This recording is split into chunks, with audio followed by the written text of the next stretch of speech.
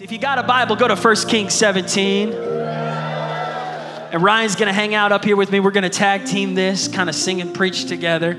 And uh, we're gonna start a series. This is kind of a preview to the series. Next week, I'll really kick it off, but it's a series called Prophets. Everybody say prophets.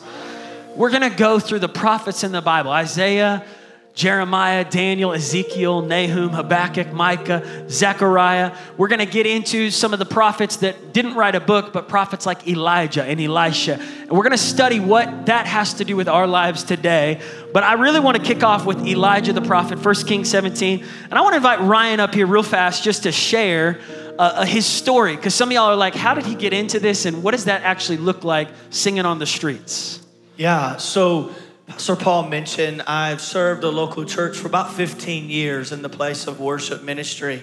Such an honor and delight of my heart to do that. But on the backside of COVID, um, I feel like that we stepped into God's idea. So before, I felt like it was many times, many years of my life where I says, God, here's what I'm feeling. I'm thinking, can you bless it?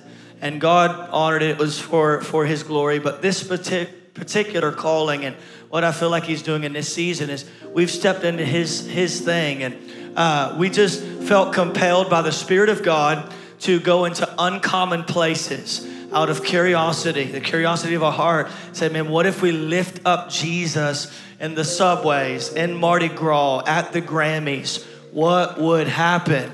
And we did that out of curiosity, and God has blown our minds. It's been absolutely incredible. So many supernatural stories, so many supernatural testimonies beginning to, uh, to flood uh, this season of our lives. So tell them one of the stories. Just tell them one. Yeah, we'll, man. We'll kick it so, off with one story. Yeah, yeah. So we went to LA and we said, man, we're going to set right upside or right outside the Grammys uh, right, right outside a Cryptocurrency Center. And uh, we set out there. Sam Smith was doing his stuff inside the arena. Very demonic, very crazy. And outside the arena, they were met by the true, authentic presence of God. Come on. Here's crazy part. So, guys with Grammy medallions around their neck just won Grammys that night. One guy in particular stopped for about 30 minutes and was arrested in the presence of the Lord and could not stop weeping. Said, Man, I don't know what this is, but I've never felt music like this before. I said, Bro, it ain't the music, it's the Holy Spirit. It's the Holy Ghost, baby. And so, man, it, it, the Lord did so much. Then I had another guy, I didn't even tell you this, that same night, texted me, or actually messaged me online about three or four weeks later, says, Man, I was sitting at the, the restaurant right beside what you were doing at the Grammys there, and I could not stop crying. I sat with you in worship for probably an hour, and uh, he was from the music group, the Pentatonix. I don't know if yeah, Pentatonix, yeah. yeah. And come on, get him, Holy Ghost. Come on. come on, Jesus. Y'all, we're going to talk about the uncanny provision of God that God provides in wild ways. And if you don't know how to write it, the word is on the screen. It's a tough word for me to write. I was trying to figure out how to write that, but note takers are history makers. And I love the story of Ryan because it connects with the story I'm about to preach on from 1 Kings 17. It's the uncanny way of God. It's how God won't fit in the box that religious people oftentimes try to put him in. That God is going to break your religious box on how you think he's going to show up, what he's going to do, who he's going to speak through, how he provides. So in 1 Kings 17, we meet this guy named Elijah. And Elijah the Tishbite from Tishbe and Gilead goes to King Ahab. Who is this guy? We've never heard of him yet. The Bible had not introduced who Elijah was, but out of the blue, he just shows up and starts talking to the king. And King Ahab was a wicked king, the most wicked king Israel had ever seen. He married a woman named Jezebel, and Queen Jezebel and King Ahab, they ushered in so many false gods and just really wicked sins into the nation of Israel and Israel had been worshiping these false gods. One of them was Baal, and they would bow down to Baal. They would ha- offer sacrifices, child, children sacrifices. And Elijah says, Enough is enough. And he goes to the king. He says, As surely as the God of Israel lives, whom I serve, there will be neither dew nor rain in the next few years except at my word. One word shut down the entire weather system for a whole nation. One word shut down a whole nation. And I think about how even during 2020, one little virus shut down an entire system. It shut down the nation. It shut down nations around the world. That all it takes is one small thing, one little thing can, can break everything. One little word can change everything. All it takes is one word to stop what God's wanting to do. But also, all it takes is one word to start what God wants to do. All it takes is one word to change the atmosphere. All it takes is one name to speak that changes everything. Ryan, sing about that name. Just say this. Something about the name Jesus. Something about the name Jesus. It is the sweetest name I know. Know how I love the name Jesus. Oh, how I love the name Jesus. It is the sweetest name I know.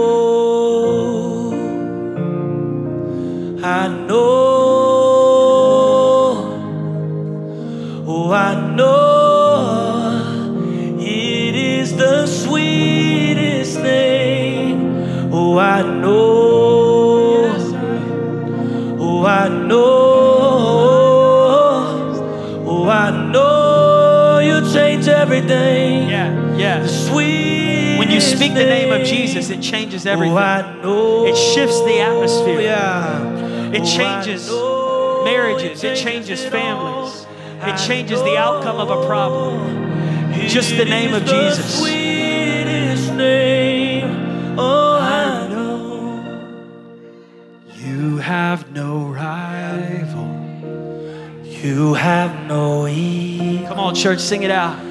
Now and forever. No greater name, no higher reign. one name. 'Cause yours is the kingdom. His name is higher. Yours is the yeah. Yours is the name above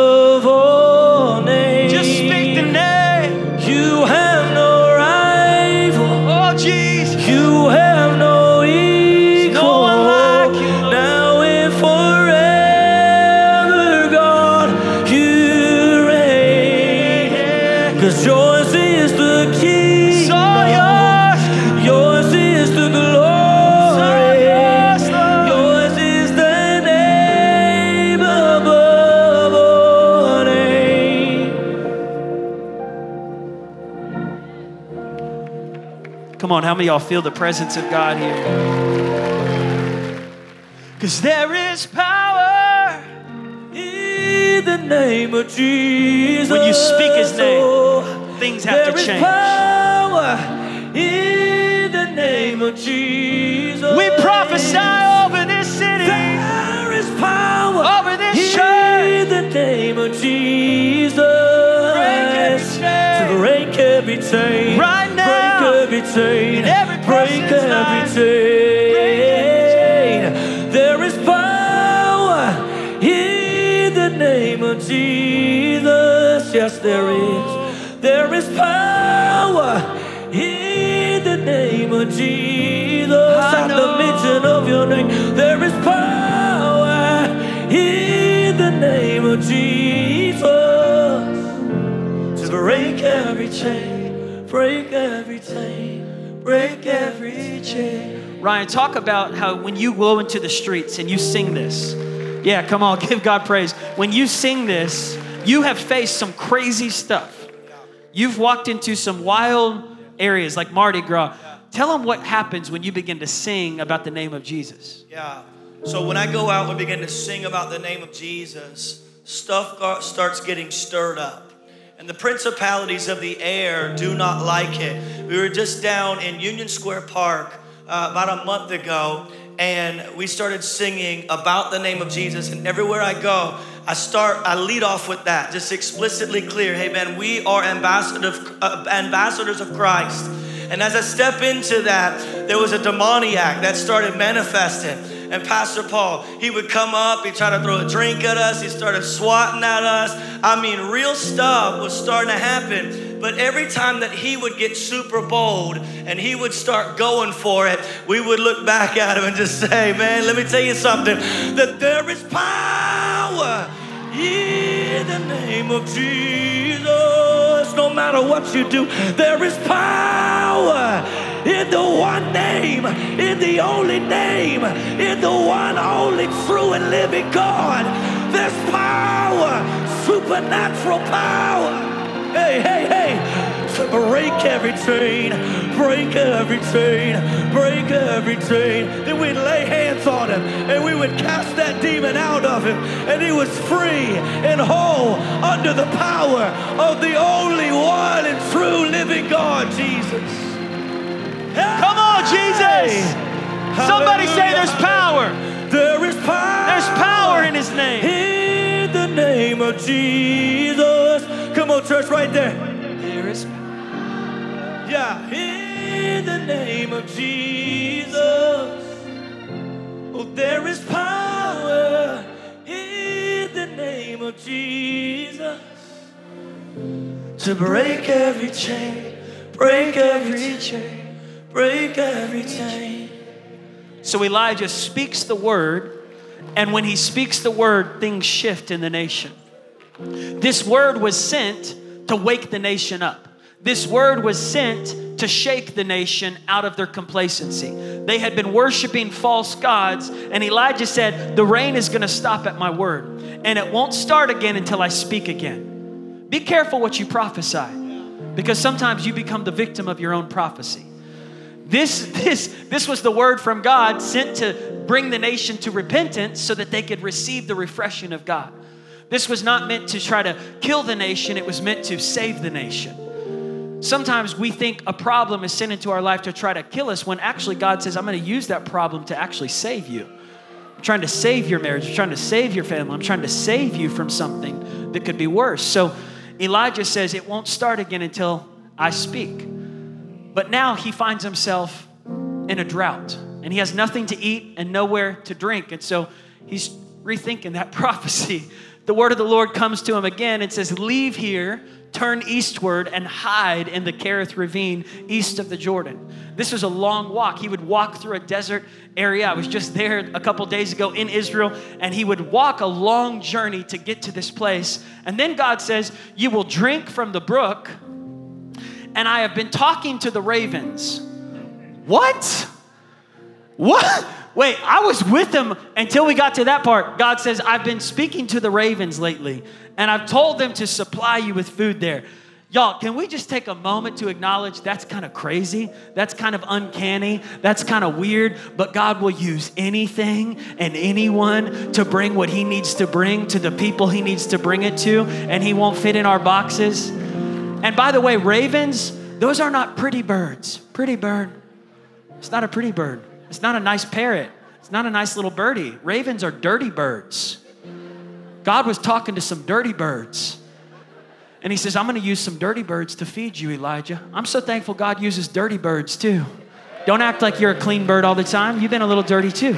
But here's the point God will use anyone and anything. He uses Jacob and Isaac and Abraham and Peter. He's going to build his church through some dirty birds. He's going to build his church through some uncanny people. He's going to use people like uh, uh, David and Solomon and Samson and Ruth and Deborah and Thomas and Matthew the tax collector and Saul the terrorist who was flipped into Paul the apostle. God will use some dirty birds to get his food into the world to bring the gospel message. God will use anything and anyone. But I love that God tells Elijah, Go there and I'll provide for you in an uncanny way. God always is faithful. Would you sing about the faithfulness, Ryan, of God? Yeah, yeah, yeah. You have been so good to me. God, I can't believe how you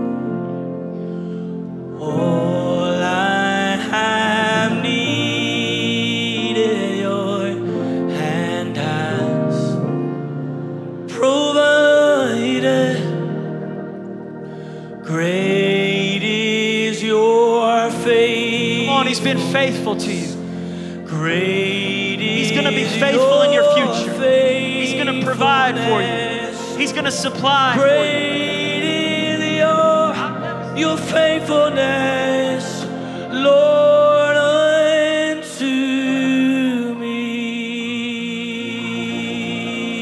Great is your faithfulness, Lord. Great is your faithfulness.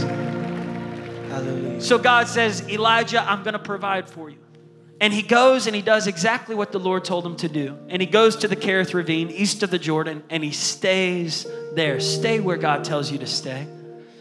The ravens brought him bread and meat in the morning.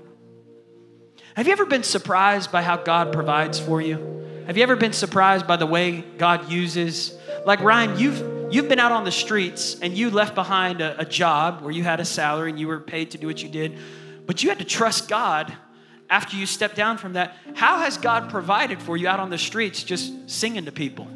Yeah, it, it has been supernatural provision of the Lord. Um, we've only been doing this now for about 10 months, around there. Um, and probably the first five to six months, uh, the Holy Spirit has started putting it on people's heart, whether it be ministries, whether it be people that come up to us on the street. And within about a five to seven month span, the Lord gave the ministry $70,000 completely unsolicited. We haven't asked anybody for a penny, but God has said, Man, I'll meet the need. This is my heart.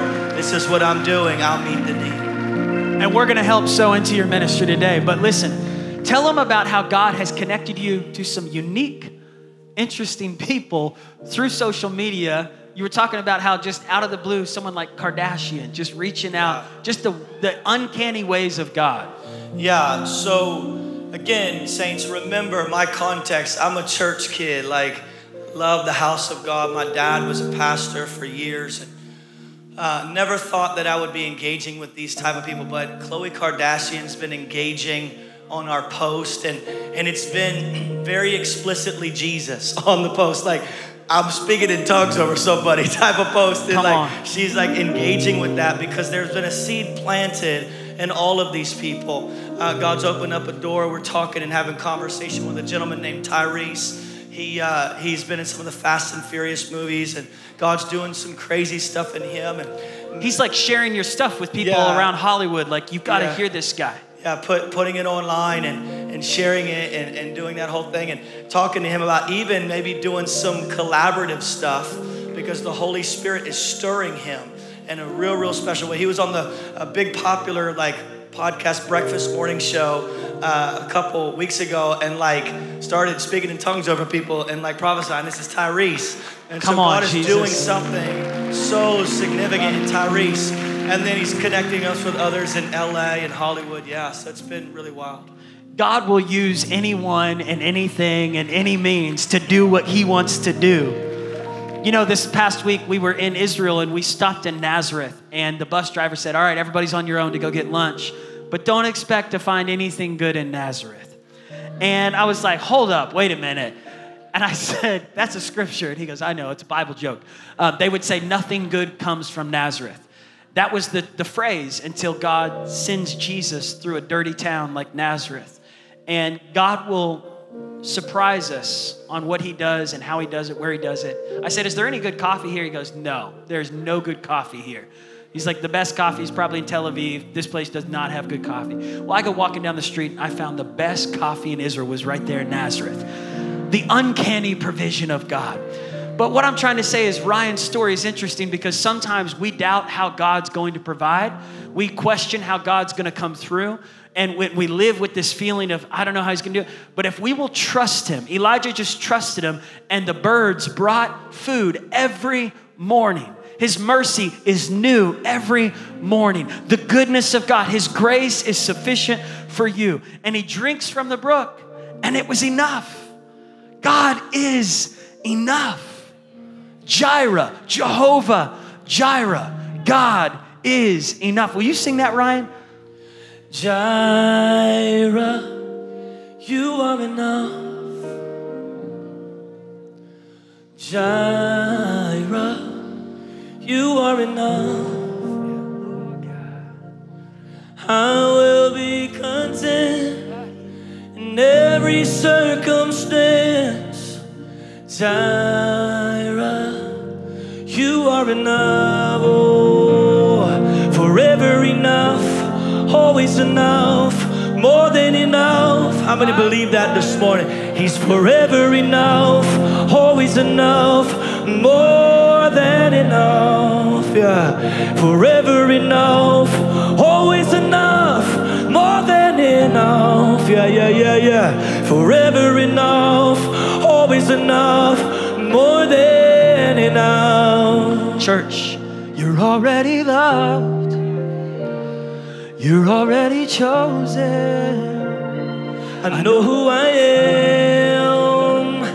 I know what you've spoken. Come on, receive it today. You're already loved. Somebody who's in a dry place. More than I could imagine. Somebody who's in, been a drought season. that is enough. God says, I'm going to show up for you. I'm going to show up for you. I'm going to provide for you. You're already loved.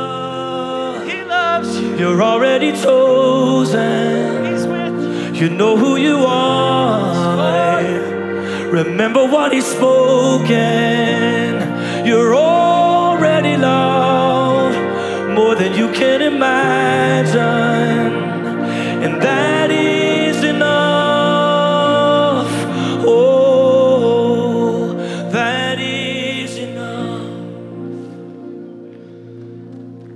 Jesus said in Matthew 6 21, He says, Don't worry about tomorrow. Don't worry. He says, Look at the birds. Look at the dirty birds. Look at the sparrows. Your heavenly Father sees what you need. He knows what you're facing. It may not be a financial need. Maybe you're in a dry season spiritually. Maybe you find yourself in a dry season in your marriage. Maybe you find yourself in a dry season relationally. You're just going, God, I feel like I've been in a famine. Like, where are my friends? Where is the future? Where's the dreams? And I don't know who I'm preaching to, but I just feel like God, God's gonna meet your needs in that dry season. If He dresses the lilies with beauty and splendor, how much more? How much more will he love if he dread watches over Every sparrow.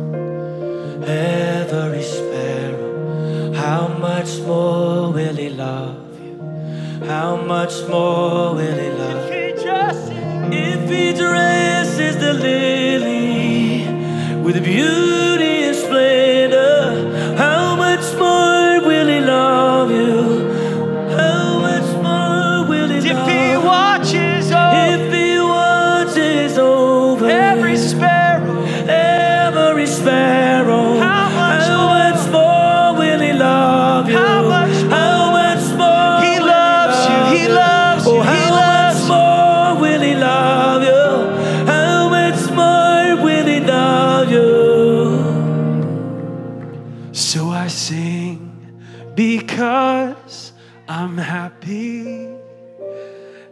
sing because Because I'm free. His eye is on the sparrow. And I know he watches me. church, He watches over you. He's your provider, He's your protector, He's got you. He'll use ravens, He'll use a creek, He'll use a pastor in Tulsa, Oklahoma named Paul, He'll use a friend in your life. God knows how to get you where He's got you and get to you what you need. He is the ultimate need meter, but don't mistake the supply with the source. Don't let the supply become the source. Because sometimes the supply changes. Sometimes the supply runs dry. And in verse 7, it says, Sometime later the brook dried up. Now, God led him to a place where he would be fed, but then the brook dries up because there had been no rain in the land. And Elijah was like, Who prophesied about there being no rain? Oh, yeah, that was me, my bad. Then he's, he's finding himself in a dry place, and the word of the Lord comes to him and says, Go at once to Zarephath. This was the hometown of Jezebel. God says, I want you to go to a hard place. I want you to go into a, a, difficult place. I want you to go to the streets of Mardi Gras. I want you to go to Los. I want you to go into those interesting places. And I'm going to connect you with people who have needs. Now, you have a need, and they have a need. And I'm going to get right. God is in the business of connecting needy people to each other. And we, the truth is, we all have needs. Any needy people in the room today? Who's the more needy spouse between you and him? You're just lifting his hand up, lifting her hand up. How many y'all got some needy kids? We got some needy kids. We got five bellies to feed. A lot of attention, a lot of needs, a lot of love, a lot of. I'm a needy person. But God's in the business of connecting needy people. And He says, Elijah, you have a need, but I want you to go to a widow. Your brook is drying up, but her son is dying. She's lost everything. She, she feels like she's down to nothing. You feel like you're down to nothing and I'm gonna meet you in the middle. God's gonna get right between you and the other. God's grace is sufficient for you. So he sends Elijah, he says, I'm sending you to a widow, and I want you to go there, and the widow's gonna supply you with food. So he goes to Zarephath. When he comes to the town gate, the widow was right there gathering sticks. And he calls and he asks, Would you give me a cup of water to drink? And as she was going to get a cup of water, by the way, she does not believe in the same God as him. This was a pagan town, not an Israelite town. They were not Hebrew people there. And as she's going to get water, she recognizes he's an Israelite. And then he says, Also, could I get some bread too? Now, this was asking too much now. She turns around. She goes, I swear to God. These were her words. Don't get mad at me. Email the Bible, direct message the Bible. She goes, I swear to the God you believe in, not my God. She says, I got nothing. I got no bread. How dare you ask me for food? She says, The problem is we're in a famine because some prophet a couple years ago prophesied there'd be no rain. So here I am gathering sticks. You matter of fact, you caught me making my final meal for me and my son. He's about to die.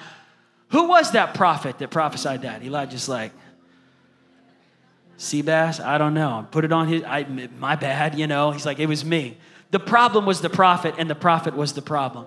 But what if the problem was actually in disguise the answer? What if the person that was asking her to do something that she felt like she couldn't do because of the predicament she was in, because of what he had to say, was actually the answer to her problem. What if God disguised a problem, disguised a prophet as a problem? What if God sent you a prophetic word, but through a problem, a circumstance, a situation? Hidden in plain sight, she's staring at the situation, and he's staring at the situation, and the answer to both of their problems is connected to each other, but it requires trust in God. He has to trust that this widow can provide for him, even though she says, I'm down to nothing. She has to trust that if she gives him this meal, somehow she's gonna have enough. Elijah looks at her and he says, Don't be afraid. Don't you worry. Fear not. Go and do as you have said. But first, make a small loaf of bread for me from what you have and bring it to me, and make something for yourself and your son. For this is the word of the Lord for you. This is the word of the Lord for you. Somebody say, This is the word of the Lord for me. This is the word of the Lord for me. God says, the jar of flour in your house will not be used up, and the jug of oil will not run dry until the day the Lord sends rain on the land. In other words, Elijah says, God's gonna meet all of your needs according to his riches and glory in Christ Jesus. You won't run out. Somebody say, I won't run out. I'm not gonna run out.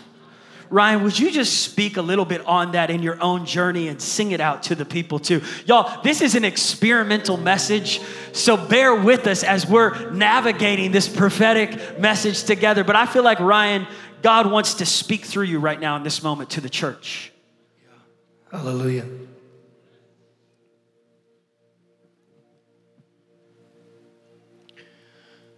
You will never run out. Cause he is your source. No matter what's in front of you, he is your source. So take your eyes off everything around Just look up to Jesus. Just look up to Him. Look up to the Lord. Oh, look up to the Lord. There's no other answer but Him. There's no other answer but Him. Look up to the Lord. Look up to the Lord.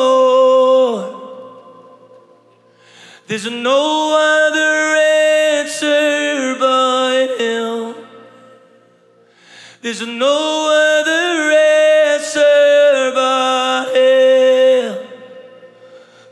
look up to the Lord. Ryan, was there ever a moment when you had to do this? You were saying in the last service how one, one moment you were out on the streets and there were witches just trying to throw curses and spells on you. There were people trying to attack your keyboardist. And you really had to just stand when it was hard to stand. You had to worship when it was hard to worship and trust God, to look to God when you were maybe afraid. Yeah, yeah, for sure. You know, we was in Mardi Gras, story that he's referencing there. And, um, we were on Bourbon Street the last night of the culmination of the celebration. It's a Saturday night. And Bourbon Street was just packed wall to wall with people. It honestly was the wildest environment that I've ever been in my life. And we set up on a little street corner and we're just lifting praise up to the Lord. And this gentleman was on something, was intoxicated on a drug or alcohol or something, and came up and was, was interacting with us fine initially. And then he lost his balance and was about to fall. And my keyboard guy just was going to brace him so he wouldn't fall and, and hurt himself. And when my keyboard guy touched him, this guy went into a fit of rage and started swinging on him and, and almost caught him in the, in the face. And, um, and, and these other two gentlemen came up. Man, I, I, I wasn't raised like that, so you know, I ain't gonna front. I, I was backing up a little bit, you know what I'm saying? Like, oh snap, it's about to get real up in here. And these other guys came and they flashed their gun, and I'm like, oh snap, like we're we're really up in here doing this. Wow. And um, and before they could say anything, it was like the Lord, the peace of God came over me. It was, it was really, really strange. I honestly have never experienced anything like that. One minute it was pretty intense fear, like, oh man, what's about to happen? The next minute, it was like the Lord was showing me, no, I've sent these guys to help. And they get up in this guy, he was on, we believe he was on methamphetamine, which I don't know if you ever fought somebody that's on drugs. I mean, you can hit them 20 times and they still go, go crazy at you. And uh, so, so these guys get up in his face, they get nose to nose with him, and they say, "Hey, man, you want a bullet?" And I'm like, "Whoa, a bullet? That's a little harsh." But, but anyways, it got his attention, and he backed up. And these guys said, "Hey, we're gonna come. We're just gonna stay here the rest of the night and make sure you guys are okay." Then, really quick, the same night, uh, it's Mardi Gras, and if you've ever been to New Orleans, super, just heavy uh, spiritual climate and witches were coming up all throughout the night and throwing these beads at our feet and trying to cast spells and all this kind of stuff. And, And we, uh, yeah, when all that stuff's going on, you're, you're just trying to process it, especially if that's not been your environment. Like, God, what is happening right now? And there's level of, of nervousness and things that come on you because, again, in the church, uh, if I'm just being completely honest, we, we can stand up here and say bold stuff all day, and we got our security team behind us. You know what I'm saying? But when when when you're out there, um, like there, we don't carry security guys with us. Just people that pray and love Jesus, and and so and really that's that's what we do too. And and so yeah, they're, they're out there, and, and these guys, they don't know when they're manifesting and when they're not. They, like the demoniac the other day, he didn't have a clue what he was doing. He was, in a, he was caught up in a trance. And uh, this huge guy, and he's sitting there in my face, nose to nose, saying, I know who you are, and I've come to kill you. Mm. And um, yeah, when somebody twice your size is saying all that, and you don't have any protection around you, um, you get nervous for a second and then you say, okay, God, either I believe this or I don't. Like either you're all I have and you're gonna protect me and you're gonna provide and you're gonna meet our need right now. Or, or I don't know. And, and every time, church, I've seen the Lord over the last year in these hostile environments come in and not only diffuse the, the atmosphere, but but change the individual's heart. Because that's the thing. It's like, man, we're not, yeah, we're not just trying to push you away and say, oh, go away. No, but we, we've come for you. We've come for you. Even in the midst of your craziness, even in the midst of, of what's going on in your mind and, and, and everything you're processing through in life, like we understand that the rage is just the byproduct, the heart condition. And we've come to minister to the heart. And we've come to set the captive free. Where the Spirit of the Lord is. And I feel the Spirit of the Lord right now. Where the Spirit of the Lord is, church. I've watched this in real time happen. We just say, Come, Holy Spirit. And we just say, Oh man, we feel you, God, but we need you more. We need you more in this moment, or, or we might not be here tomorrow. Like, would you come, Holy Spirit? Would you increase? your presence among us right now. So, this demoniac, this guy that, that has no clue of who you are, that he would feel you, that he would be transformed in this moment. And uh, yeah, so he's been a shield about us. Come on. He's been our protector. Never would have made it. Never would have made it. Man, this is my story for real, for real.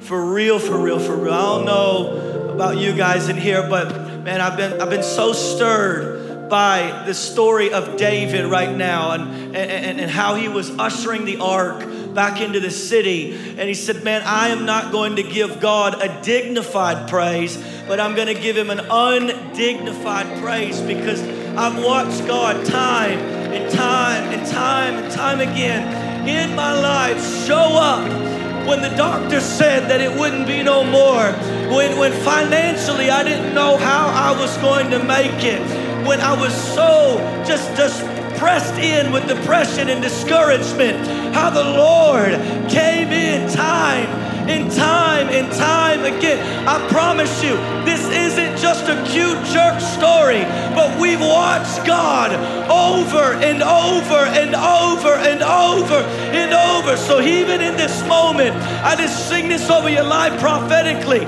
This is somebody's going to minister straight to your heart. I never would have made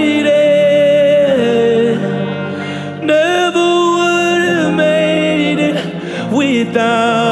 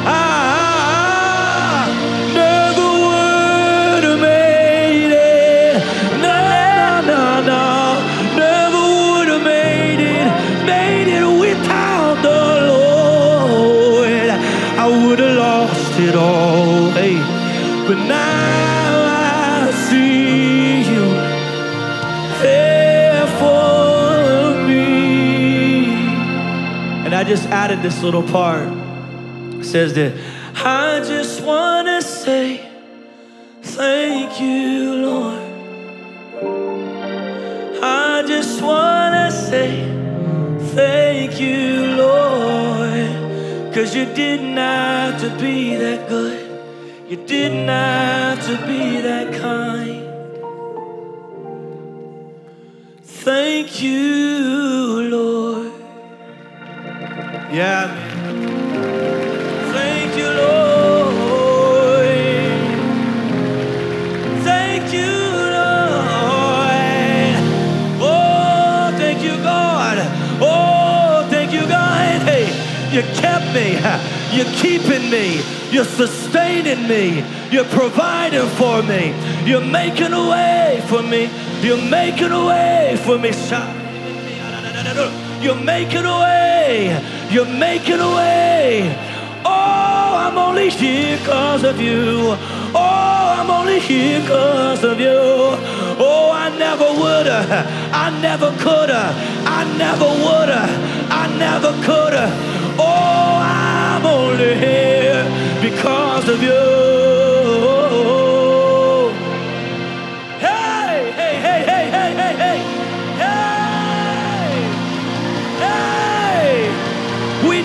We never, we never, we never would have made it.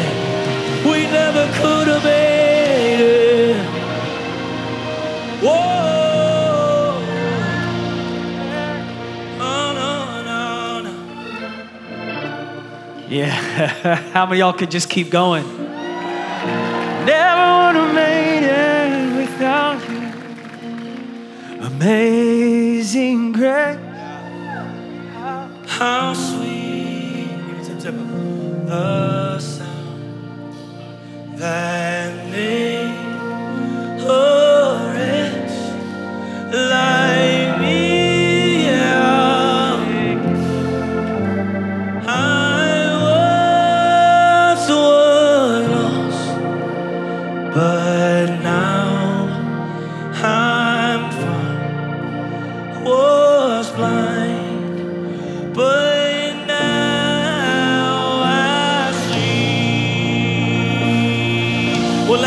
victory.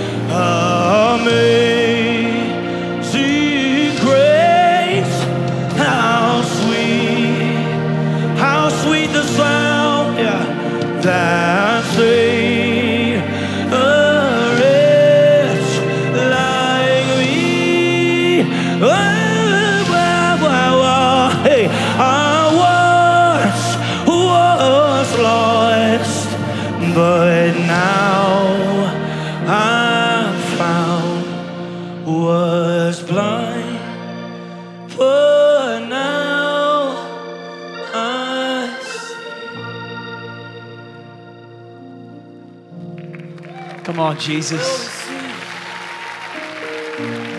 So when the woman obeyed what Elijah asked, she went back to her house and she followed his instructions. And when she did, there was food every single day for Elijah, for the woman, for her son.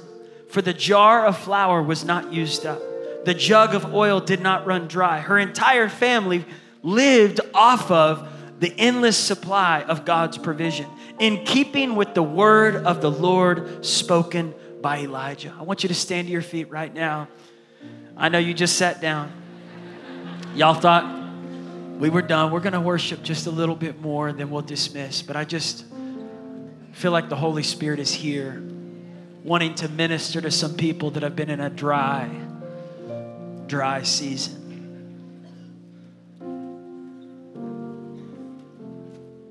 So, Jesus, Jesus, how I trust you, how I root you o'er and o'er. Jesus, Jesus, precious Jesus. Oh,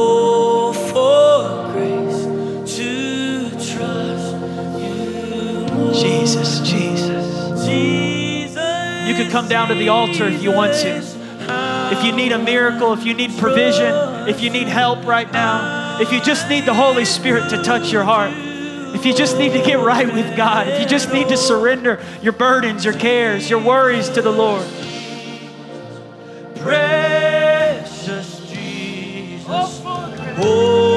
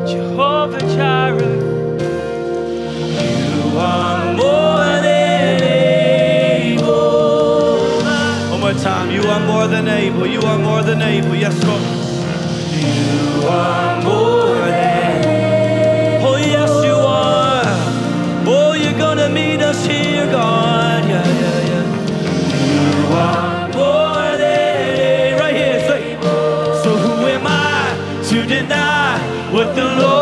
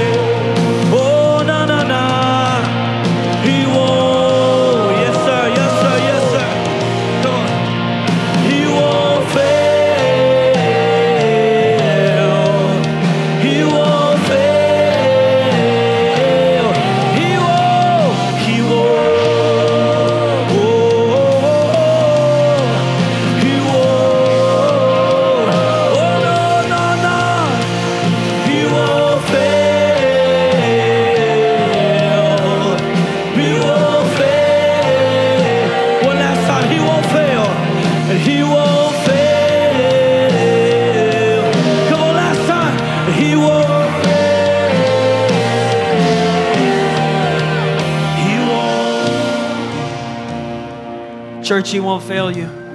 He can't fail you. Ryan, is there anything you just want to speak over the people today before we finish? Yes. Anything on your heart? Yeah. So God has been faithful to everybody in this room. Whether you know it or not, whether you've had history with Him or not, you having breath in your lungs is His act of faithfulness as a father to you. We could go on and on and on and on, so much more than just breath in our lungs. But I want to say this church in Tulsa, beautiful victory family. You have purpose. You have purpose. You have purpose. Maybe you say, Bro, my purpose, I, I can't pick up the mic and go to the street corner and lift up worship. But you operate in business. You operate in the in the medical space. You're in education. You're a stay-at-home mom. Whatever you do, there is a unique calling on your life to go into that sphere of influence and release the kingdom. And I'm just telling you, victory. There is a revival. We're already experiencing the first fruits of it in the nations. And I'm telling you, I really believe that this beautiful body is going to be a significant catalyst to the move of the Spirit, to the move of God in Tulsa like we've never seen. And as much as we love Pastor Paul, as much as we love the vision that God's put inside of him, I'm telling you, it takes everybody in this room fully mobilized. His responsibility is to equip the saints for the work of ministry. So, my brothers and my sisters, go out tomorrow on mission. Go out on the rest of the week on mission. I am telling you, if you step out, if you step out of your comfort zone, if you step out of your shell and you begin to do things that you've never done before, you'll see the move of the Spirit in ways that you've never seen Him move before. Tulsa, now's the time. Now's the hour. Don't wait on your neighbor. It's your turn to get fully engaged. How many of y'all receive that today? Lord, I just pray right now for every person here, God, as we leave, that we leave encouraged by the Holy Spirit. Equipped by the Holy Spirit, ready, God, for this week. I pray, Lord, just for an anointing on every person in this room as they go home, as they go to work. God, as they encounter problems, circumstances, situations, that they encounter it with faith. They encounter it with a trust in you that you will come through, that you are Jehovah Jireh. You are our protector. God, I pray, Lord, for your uncanny provision this week. Lord, that people would be surprised by the favor of God. Lord, they would be surprised by doors that you open. And Lord, that you would usher people into places that you do want them to release the kingdom of God into those people, into those places. Just pray this with me. Say, Jesus, thank you for loving me. You are my source. My hope is in you. I trust in you, Lord. I repent of my sin. I receive your forgiveness. You are my Lord and Savior. Thank you, Jesus, that you're not finished with me. My best days are in front of me. I will see the victory and I will give you the glory. In Jesus' name, amen.